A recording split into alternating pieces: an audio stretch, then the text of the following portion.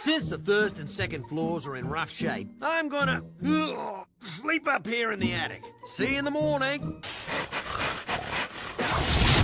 I'm never gonna get any rest if I keep tumbling about. This bungee cord attached to my leg will prevent me from falling.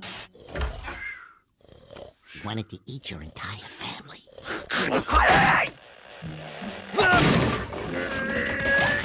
Go! Hey! Go!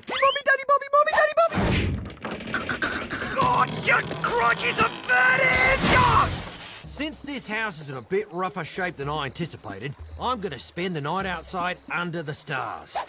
Just listen to the soothing sounds of those crickets out there. They're chirping as nature's sweet, gentle lullaby. I'm gonna get closer so I can hear every single one. Ah! The attic! Go! Not the stairs!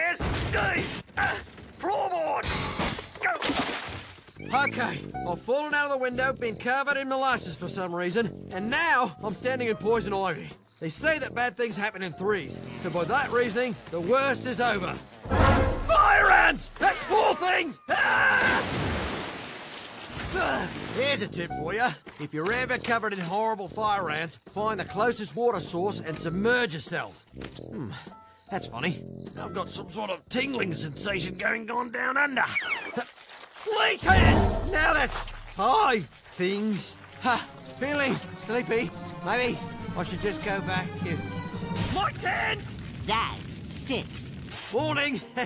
Today, we'll be installing a new floor. Nailed it! What? I could have sworn I just hammered that nail in there. There! Now I know I nailed that one in!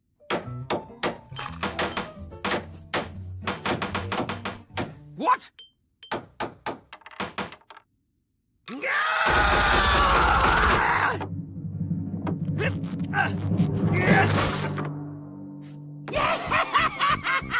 don't think this house is worth saving! I'm gonna tear this thing down to the foundation!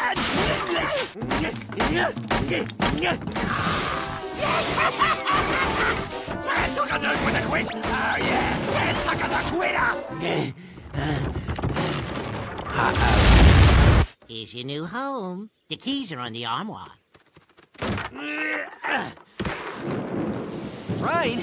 Well, at least I still have my tool shed for shelter. Go, go, go! Hey, let me in! When someone messes with your house, the first thing you do is change the locks.